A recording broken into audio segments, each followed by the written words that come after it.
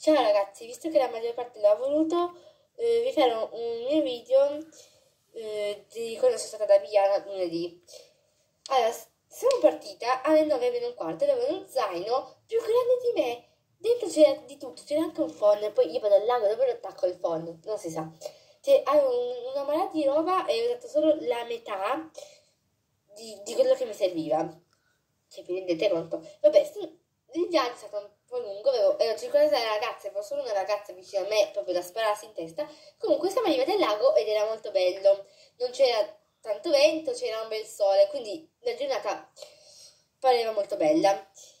Allora, abbiamo fatto diverse attività. Allora, io ho iniziato con l'orienting, una cosa tremenda, proprio tremenda. Non mi è piaciuto per niente. Poi ho fatto il... Mm, come, cioè non canoa, tipo... Mm, come dire... Il gommone. Ecco, scusate, non mi veniva la parola. E poi abbiamo fatto quello che mi è piaciuto di più, il sup, non il sub che vai sott'acqua, il sup con la P, ora sto in piedi su una tavola e remi, quella è stata una cosa bellissima.